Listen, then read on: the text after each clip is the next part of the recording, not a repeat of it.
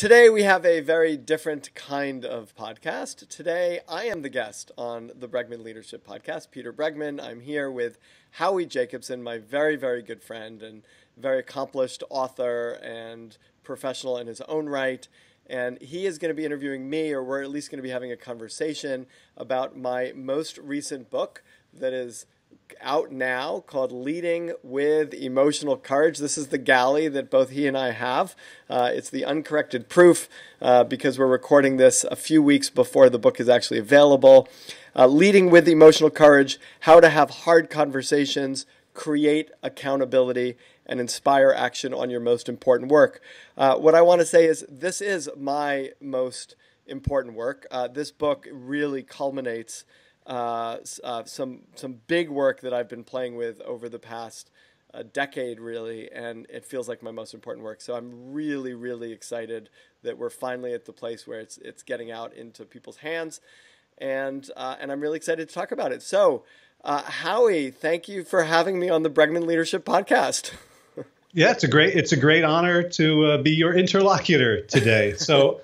I realize we, we've known each other for about two decades now. And so I have witnessed firsthand your ride towards this book. And I've, you know, and I can see looking back, you know, 10 year ago conversations that uh, I see in the book and 15 and even 20 years ago, things you were, you were interested in. I would love to be able to just tell everybody like how much of you is embodied in this work and how much courage and passion you've put into it, but I can't. So I would love for you to just sort of share, like, for, from your perspective, what's the origin of, of this book? Why why this book and why now? Well, you know, there's a couple of questions, uh, a couple of answers to that question, and it's and and you've been a part of this also, which is why this particular kind of conversation makes me excited, and I'm going to talk about that in a second. But I, you know, probably close to ten years ago now, I I went to a week long workshop at Esalen with this woman named Ann Bradney, who um, became my teacher and is really remarkable in many ways. And the book is in part dedicated to her and Jessica Gelson. And it was Jessica who first said to me, "Hey, you got to meet this woman, Ann Bradney." And I went out and and spent a week uh, in this workshop and and I I found myself in a situation that, and I hope this doesn't sound arrogant, but that I'm I'm rarely in, which is we were dealing with psychology and communication and relationships and connections with ourselves and with each other, and and it was like the wild west. People were making these choices and how they communicated with each other that was like on the verge of massive conflict, and yet it it was exactly what needed to happen in the moment for the relationship, for the conversation, for the work that we were doing to progress to the next level.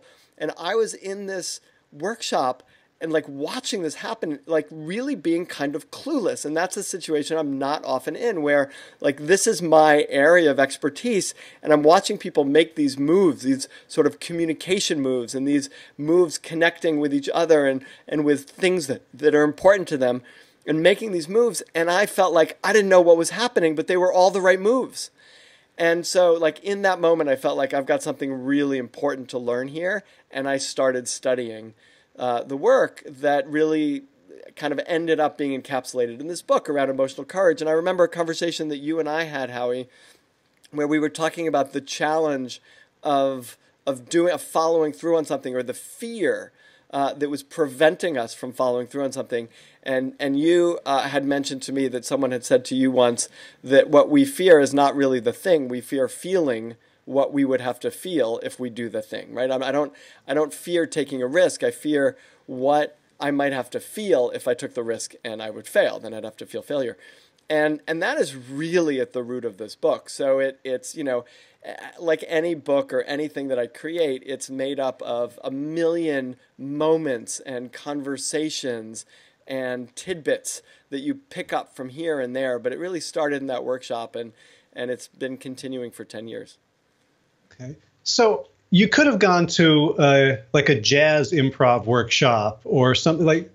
And, and had the same experience of people kind of doing these wild moves of communication and conflict like and you might have said well that was really cool but it doesn't really affect my work What was it about that experience that made you feel like I've got to dig into this if I want to be my most effective self as Peter Bregman? Well, because it felt really personal, meaning I felt like I was in that room and I was choosing not to do things or to do things um, that I, I, was making choices that weren't necessarily in my best interest or in the best interest of people around me, but they were sort of what I knew. And I realized that I was sort of a, afraid or not fully moving into what was needed in that moment.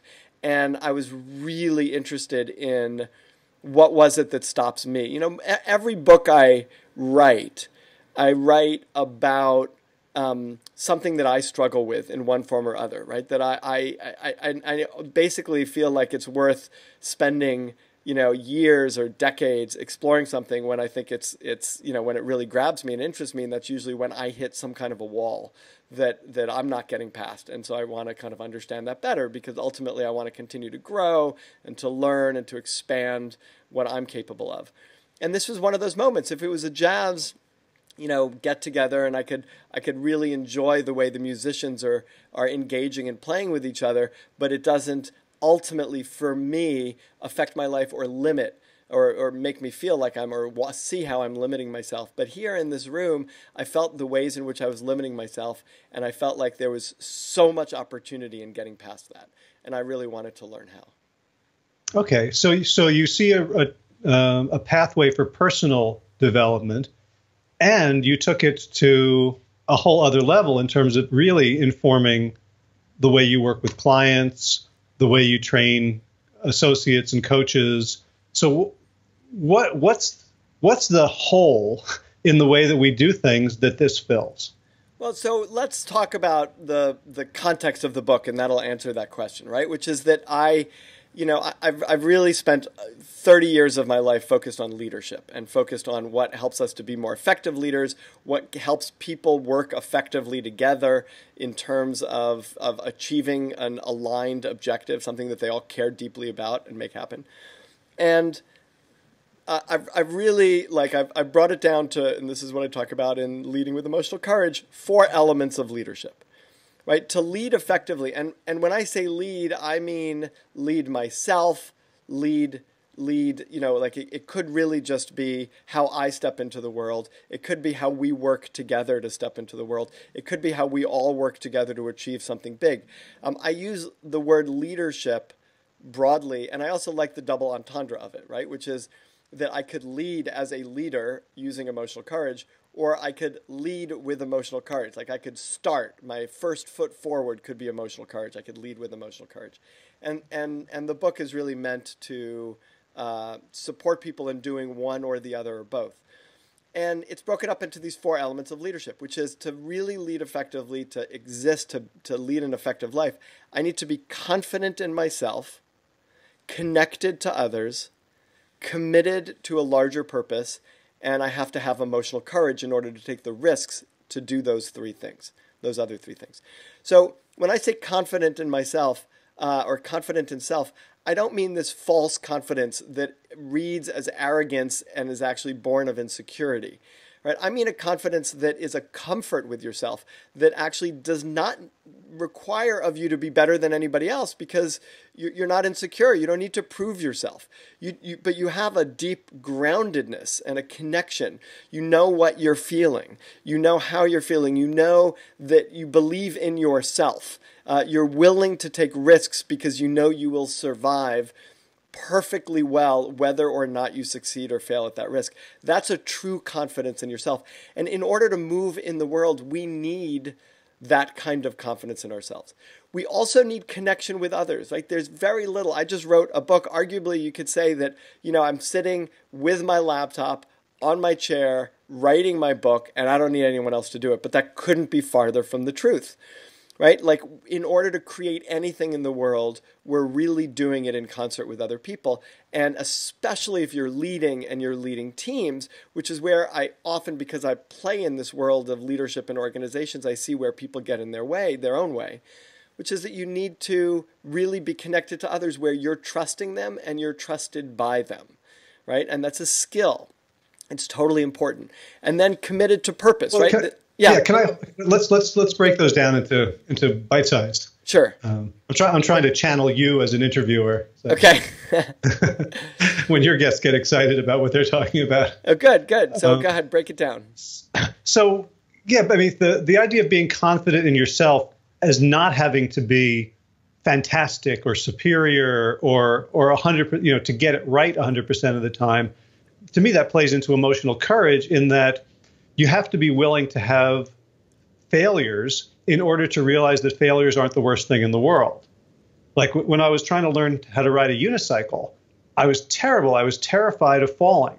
And it was only by like going to grass and actually practicing falling that I developed the ability to ride the unicycle because falling was a part of it. And so for, for developing your own self-confidence, you have to, it's not that you think you're going to succeed all the time, but that you're going to be okay no matter what.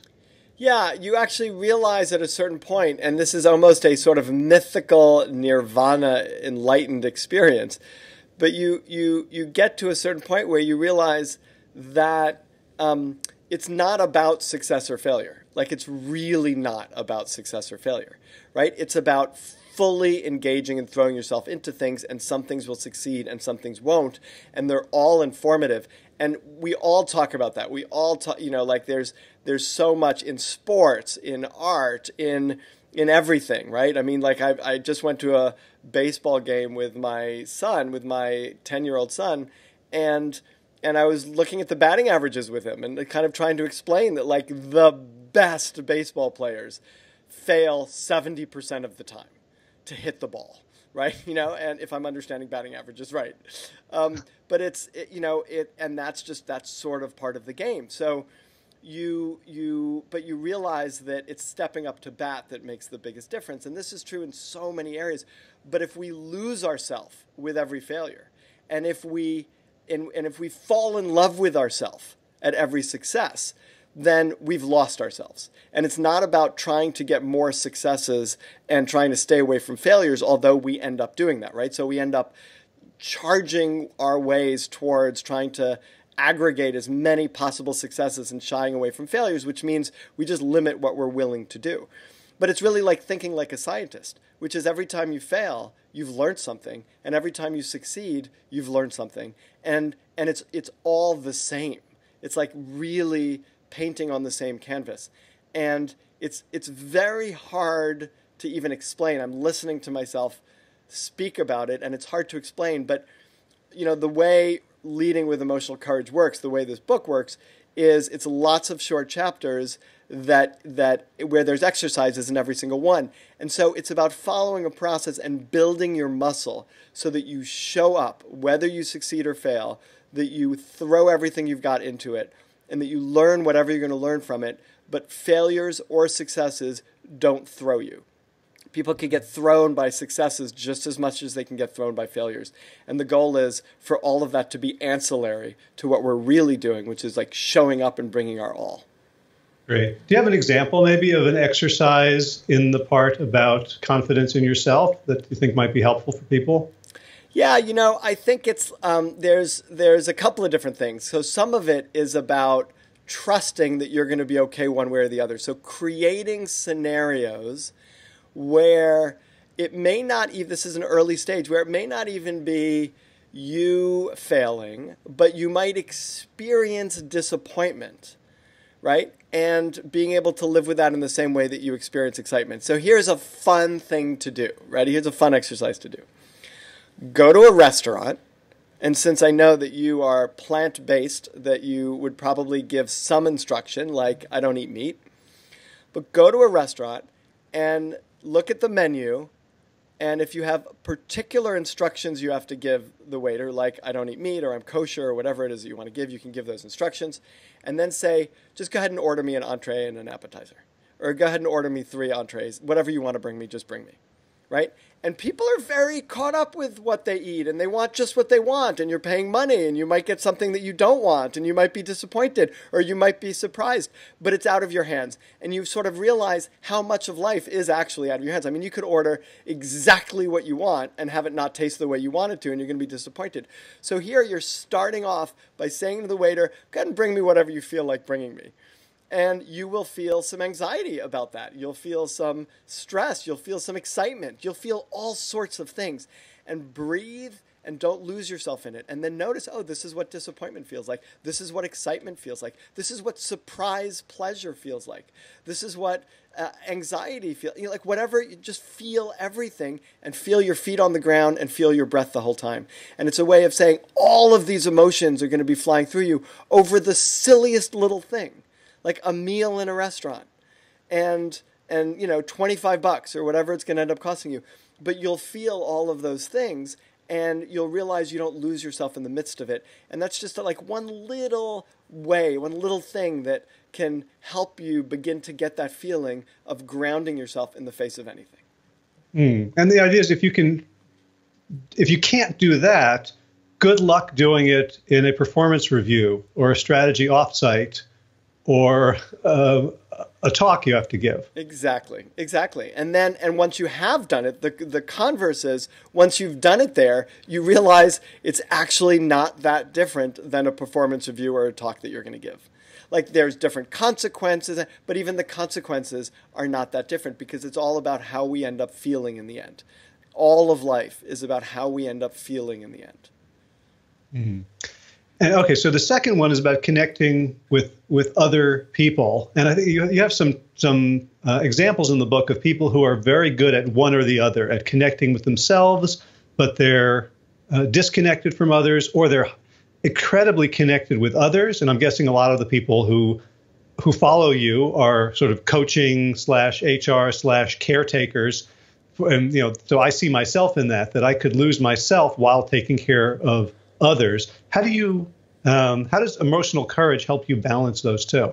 Yeah, so I mean, it's a great point you're making, and it goes with commitment to purpose. So, one of the points that I think is really important is that each of these elements, while they stand alone, are insufficient alone. Mm. Meaning, in order to be an effective leader, in order to lead yourself even effectively, you need to be confident in yourself, connected to others, and committed to purpose simultaneously. Right? So, for those, and, and you will recognize you're talking about caretakers. And by the way, it's not just HR or coaching professionals, it's leaders who can be so caretaking that they give up themselves in the service of other people. And it might be in the service of their board or their own boss, or it might be in the service of their employees, um, or it might be in service in, of their clients. But it's, it's giving yourself up, right, in order to meet the needs of others. And, and that's, that's the recipe for burnout and it's a recipe for frustration. And the other is also true, which is it could be all about you and you're not factoring anyone else in. And then you end up kind of alone and feeling betrayed because where has everybody gone and why aren't they supporting me when really you, you know, have failed to effectively connect with them. And I also know a lot of leaders who are so committed to purpose. They care so much about the ultimate outcome that they're trying to achieve that they give themselves up and their teams up and everybody else in pursuit of it. And then everybody leaves feeling frustrated and disengaged and disempowered. And so you really need all three of those simultaneously. And so, you know, one of the things that you see with people when they're connected to other people, which is your question, connected to other people and then and giving up themselves is you know they end up really giving themselves away to saying yes too much trying to please the people around them and make everybody else happy but finding that they're depleted at the end of the day because they've actually done nothing to make themselves happy. Gotcha.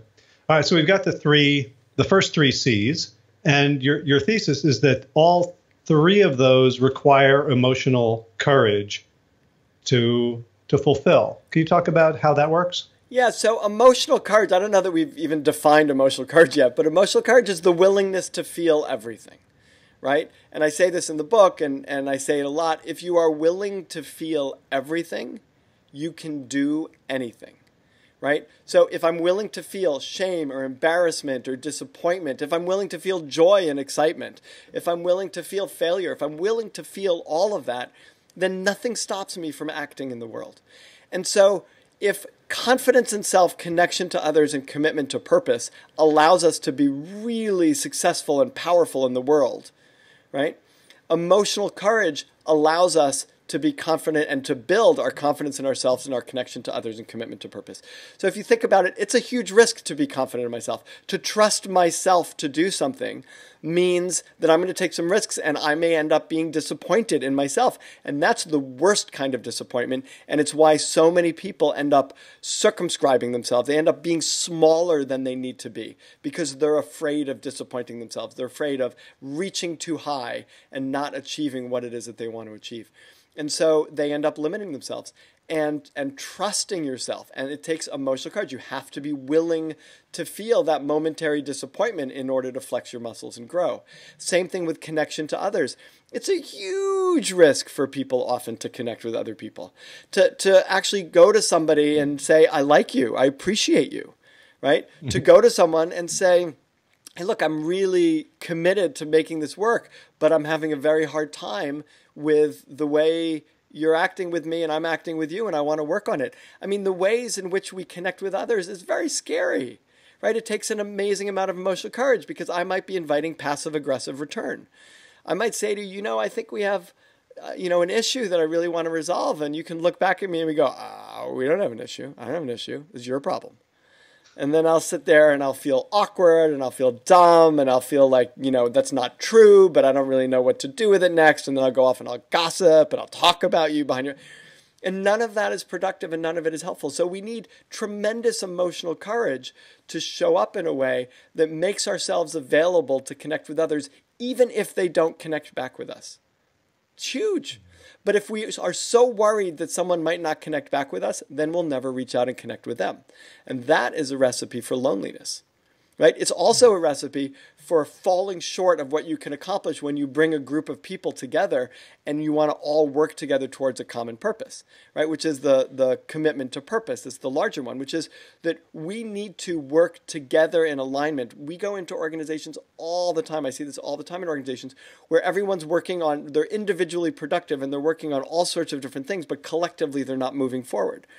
So there's a real art to collectively getting a group of people all moving, inspiring a group of people to move towards what's most important. There's an art to that. And and I can lose myself in that, I can lose others in that, or I can do all three.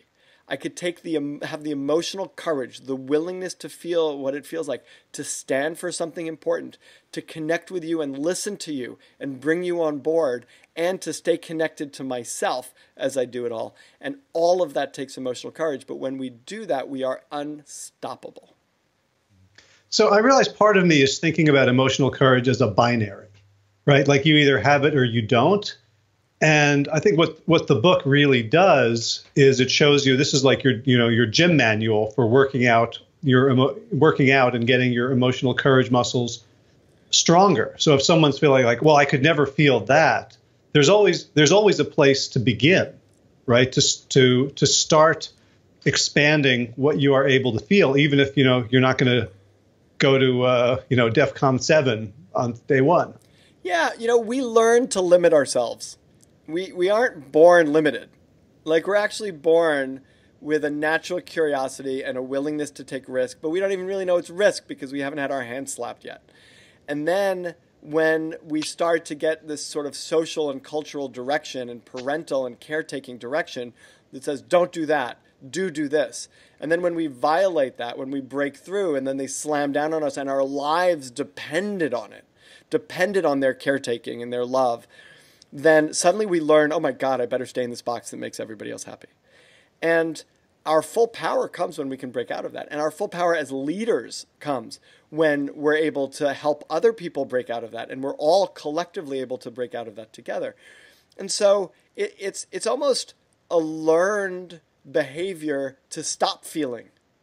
Hmm. And we have to relearn feeling. We have to be re willing to feel things and recognize that feeling the wrath of someone when we were two might actually have been life threatening, but it is no longer life threatening. And the having those small experiences that go, wow, you know what? The waiter wasn't so happy with me, right? But I'm not actually codependent on my waiter, so I'm actually okay. And it might go from the waiter to my friend to my boss to the board to whoever, but but I can I can withstand that and not detach myself from them and not detach myself from what I feel. When we detach ourselves from feeling, the, the, the problem still exists. We're repressing it and it ends up leaking out in insidious ways, which is the, the you know, working definition of passive aggressive behavior. So, you know, if we really want to be uh, powerful in our leadership, then yeah, we have to build it. And it's not binary at all. We had it when we were born, and it's about relearning it and refining it and taking little steps, each one that builds on the next, so that eventually we can take those big risks. And whatever happens with them, it doesn't knock us down. Do you have maybe a story or an example from the book or from your work of someone who went from not having emotional courage or not having sufficient emotional courage to then developing it and what the difference was and maybe you know an outcome? Yeah i mean you know we some of this we experimented with all of these ideas over uh, uh, you know a few years of running a leadership intensive program a program that that i ran that uh, was really focused on building people's emotional courage. And partly we did it because we wanted to measure you know what kinds of results? Like if, when you build your emotional courage does it make a difference in your leadership? And the answer is unequivocally yes right? You you the, on any any marker that we asked on uh, you know in terms of how other people viewed their leadership in terms of their ability to accomplish things in terms of even things like promotions and that, that it made a difference. It it improves your capacity to act powerfully and successfully in the world so, um, so yeah, I mean, I, I just I remember there's just one particular person that I remember who was at the leadership intensive and literally, I don't even know if I tell this story in the book, but you know, literally halfway through he was physically nauseous, like he just it was just like it was he was at being asked to do scary things that were not particularly scary to other people, right? Because this is a thing about how you feel and the fear of what you might be feeling it's incredibly personal. So what scares you is not going to be the same thing as what scares someone else. And you know, it's why you know you hear that pu- people people quote unquote fear public speaking more than death. You know, but I kind of like it, right? It's not, you know, it's not something that I fear. So different people fear different things. But he was, you know, kind of wickedly afraid of of you know showing up actually of, of showing up in even like a touchy feely way like of expressing his emotions was something he was detached from and, and very scared about. And you know this was over the course of four days. It wasn't forever. But he really you know grew tremendously in his ability to where he was able to sort of stand up on stage which is what we did in the group and begin to sort of express some vulnerability in some of the ways that he was feeling which you know two days beforehand would have been unthinkable. And, and then the question is how does everybody feel about him when he expresses this? That he was af- afraid would represent weakness and that they wouldn't like him anymore. He would become unlikable, right? But, you know, here's the thing. When you are open and in touch with your feelings and you're able to express that vulnerability, you know, you know this, that is when you are most likable. That is when people are most attracted to you, right? Because you need to be incredibly strong to express weakness without losing yourself, right? And the people who can't express weakness are not strong. They're not strong enough, right, to be able to uh, expose something that they're not great at without losing themselves so they don't expose it. So his ability to eventually do that in front of a lot of people drew everybody to him. And it was really, really like a beautiful example. Mm. Yeah, it's, it's, it makes you trustworthy. Exactly. Right. That you're you're okay. So now I know what you've been hiding, and right. it's the same. It's probably, it's probably the same thing I've been hiding, and now maybe you know, as a leader, especially you, we've seen the effect of if, if a person in a position of authority, whether it's um, you know sort of line based on, a, on an org chart or just by virtue of their their knowledge or expertise or resources when when someone does that it can create concentric ripples throughout the whole organization right? Oh absolutely. Absolutely. And you know the, the point of trustworthiness is a great point because you know everybody eh, the, the thing that you're most afraid of exposing everybody already knows like like everybody already sees it they know about it they're almost always talking about it but just not with you right? Because it's not so safe to talk about it with you because they know that you can't really handle it. So when you can really handle it, nothing becomes off limits. But it's you're not exposing something that no one else knows. You're allowing everybody to breathe a sigh of relief to say it's on the table, and now I can trust this person because you know we don't have to go behind their back to say anything because we know they can handle it. Great. So one one final question, which is, it looks like the, you you constructed the book not just to be a bunch of interesting stories or inspiration, but to really be a field manual for for people to actually change, sort of as as if you you know said I, I'm going to mail myself to you as a coach through this book. Can you talk a little bit about the, the structural choices you made in crafting the, the work? Yeah, yeah. I it, and and I love that you're asking that because it's really important to me that you know like I want this book to be entertaining and interesting and engaging for people and and I've been hearing that it is uh, to the sort of early readers who we've given it to, um, and it's really important to me that you one can leave this book with changes, right? Having grown, so I, I it's really like laddered. So the first thing is it starts with some you know conversation up front as to why this is important and kind of the sort of proof that we have that it actually makes a difference. And then there's an assessment. And the assessment you can get to on our website also. So you can take the same assessment on our website and the assessments at the beginning of the book. And the assessment asks a, a series of questions that helps you figure out where are my strengths and weaknesses in terms of confidence in self, connection to others, commitment to purpose, and, and emotional courage. And each question relates to a chapter in the book. So, on a basic level, you can look through the assessment. You, at the beginning of the book, you could take the assessment, and anything you answer no to, right? Yes, if you feel strong in this area, no, if you feel weak in this area or you want to get stronger, anything you go no to, you can go right to that chapter right? And and every chapter has stories to it, but also has instruction and guidance to it. So hopefully it's very interesting to read, but it also lets you take a stepwise approach to growing this muscle. I you could go anywhere in the book that you want to, but I would suggest you start from the confidence in self and build your way through it. And you can only focus on the chapters that you think you need, or you can read them all. But it's about building through step by step a process. It's a very specific process so that you emerge from the end having gained that confidence in self, connection to others, commitment to purpose, and, and emotional courage. And the way that the book is also structured is not just so that you're learning the skills in a vacuum while you're doing it, you're building what you need to build with your team, with the people that you really need to build it. So, connection to others isn't in the abstract. It's connecting to the people you care about most, or it's connecting to your team, or your employees, or your bosses, or whoever it is that you need, you know, the people you have to influence without authority.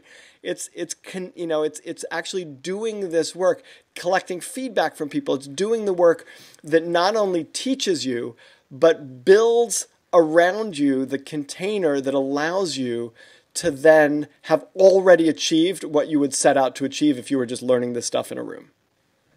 Mm-hmm. Right. And I guess that somebody could, you know, wave the book around a little bit, say, like, this is my excuse. This is why I'm doing this hard thing. You know, I've got an assignment from, from a book, and it can kind of, you know, give you a, a way to to have these hard conversations where someone else is kind of giving you permission or forcing you to. I mean, one of the things that we've talked about is is having your whole team read the book, right? Because if everybody, you know, or the organization read the book, because it, it's very clear that I'm trying to impact individuals, and it's also very clear that I'm trying to impact organizations. That I believe so deeply that if we all collectively show up with emotional courage, the willingness to connect with each other and be confident and commit to something bigger than all of us, that our organizations will be stellar. And so I I care a lot about individuals and I care a lot about what we're trying to achieve in organizations. I believe in organizations. And so if if you know if this book if everybody's reading it like I, I want the people around me to read this book. The one of the reasons i wrote the book and i say it in this book in leading with emotional courage is i wrote this because i want to live in a world in which people live like this in which people are direct with me and caring at the same time. That's the world i want to live in. So i want everybody i come in contact with reading this book and i want everyone i work with to read the book and i want the organizations to read the book. And i know this sound will sound to some people like i'm doing like a hard sell on saying everybody buy my book.